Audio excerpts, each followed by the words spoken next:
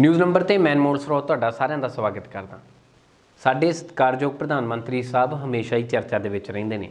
ਪਿੱਛੇ ਜੇ ਅਕਸ਼ੇ ਕੁਮਾਰ ਦੇ ਨਾਲ ਕੀਤੀ ਉਹਨਾਂ ਨੇ ਨਾਨ ਪੋਲੀਟੀਕਲ ਇੰਟਰਵਿਊ ਦੇ ਵਿੱਚ ਅੰਬ ਵਾਲੀ ਗੱਲ ਦੇ ਉੱਤੇ ਲੋਕਾਂ ਨੇ ਬੜੇ ਟਰੋਲ ਬਣਾਏ। ਵੈਸੇ ਪ੍ਰਧਾਨ ਮੰਤਰੀ ਸਾਹਿਬ ਦਾ ਸੂਟ 56 ਇੰਚ ਦਾ ਸੀਨਾ ਅਤੇ ਡਿਗਰੀ ਬਾਰੇ ਅਸੀਂ ਸਾਰੀ ਜਾਣਦੇ ਹਾਂ। ਪਿਛਲੇ ਕੁਝ ਦਿਨਾਂ ਦੇ ਵਿੱਚ ਪ੍ਰਧਾਨ ਮੰਤਰੀ ਸਾਹਿਬ ਦੇਸ਼ ਦੇ ਵਿੱਚ ਵੱਧਦੀ ਬੇਰੁਜ਼ਗਾਰੀ ਦੀ ਸਮੱਸਿਆ ਨੂੰ ਲੈ ਕੇ ਬੜੇ ਚਿੰਤਤ ਸੀ। ਫਿਰ ਕੀ? ਇੱਕ ਇੰਟਰਵਿਊ ਦੇ ਵਿੱਚ ਅਜਿਹਾ ਸ਼ਗੂਫਾ ਛੱਡਿਆ ਤੇ ਆਪ ਤਾਂ ਬੱਦਲਾਂ ਦੇ ਵਿੱਚ ਲੁਕ ਗਏ ਅਤੇ ਲੋਕ ਕੰਮ ਲਗਾ ਦਿੱਤੇ ਟਵੀਟਸ ਕਰਨ ਨੂੰ ਤੇ ਟਰੋਲ ਬਣਾਉਣ ਲਈ।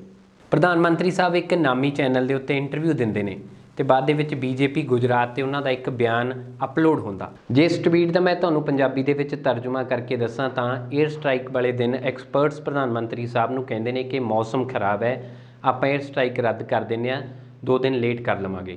ਤਾਂ ਉਦੋਂ ਹੀ ਪ੍ਰਧਾਨ ਮੰਤਰੀ ਸਾਹਿਬ ਆਪਣੇ ਦਿਮਾਗ ਦੀ ਬੱਤੀ ਜਗਾਉਂਦੇ ਨੇ ਤੇ ਕਹਿੰਦੇ ਨੇ, ਨਹੀਂ, ਆਪਾਂ ਨੂੰ ਬੱਦਲਾਂ ਦਾ ਫਾਇਦਾ ਹੈ ਕਿ ਆਪਣੇ ਜਹਾਜ਼ ਪਾਕਿਸਤਾਨ ਦੀ ਰਡਾਰ ਦੇ ਵਿੱਚ ਨਹੀਂ ਆਉਣਗੇ।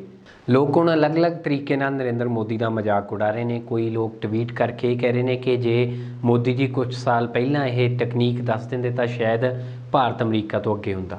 ਇੱਕ ਹੋਰ ਧਮਾਕਾ ਕਰਦੇ ਹੋਏ ਨਰਿੰਦਰ ਮੋਦੀ ਕਹਿੰਦੇ ਨੇ ਕਿ 1987-88 ਦੇ ਵਿੱਚ ਉਹਨਾਂ ਨੇ ਡਿਜੀਟਲ ਕੈਮਰਾ ਤੇ ਈਮੇਲ ਯੂਜ਼ ਕਰ ਲਿਆ ਸੀ।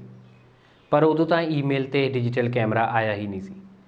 ਹੈਰਾਨੀਜਨਕ ਗੱਲ ਇਹ ਹੈ ਕਿ ਉਹਨਾਂ ਦੇ ਸਾਹਮਣੇ ਬੈਠੇ ਐਂਕਰ ਜਾਂ ਪੱਤਰਕਾਰ ਉਹਨਾਂ ਨੂੰ ਟੋਕਦੇ ਵੀ ਨਹੀਂ ਕਿ ਮੋਦੀ ਜੀ ਉਸ ਟਾਈਮ ਡਿਜੀਟਲ ਕੈਮਰਾ ਤੇ ਈਮੇਲ ਨਹੀਂ ਹੁੰਦੀ ਸੀ। ਆਖਰ ਉਹਨਾਂ ਨੂੰ ਖੌਫ ਕਿਸ ਗੱਲ ਦਾ? ਲੋਕ ਤਾਂ ਪਹਿਲਾਂ ਹੀ ਕਹਿੰਦੇ ਸੀ ਕਿ ਨਰਿੰਦਰ ਮੋਦੀ ਸ਼ਗੂਫੇ ਛੱਡਦੇ ਨੇ, ਪਰ ਹੁਣ ਤਾਂ ਮੋਦੀ ਜੀ ਨੇ ਹੱਦ ਹੀ ਪਾਰ ਕਰ ਦਿੱਤੀ। ਕਿਉਂ ਘਬਰਾਏ ਹੋਏ ਨੇ ਨਰਿੰਦਰ ਮੋਦੀ? ਕਿਉਂ ਇਹੋ ਜਿਹੇ ਪੁੱਠੇ ਸਿੱਧੇ ਬਿਆਨ ਦੇ ਰਹੇ ਨੇ?